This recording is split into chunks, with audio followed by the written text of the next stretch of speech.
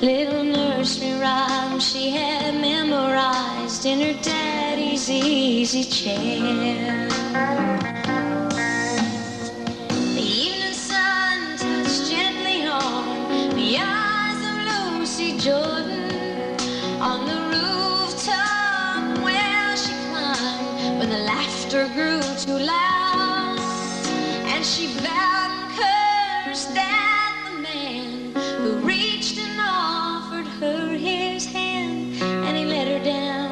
to the long white car that waited past the crowd.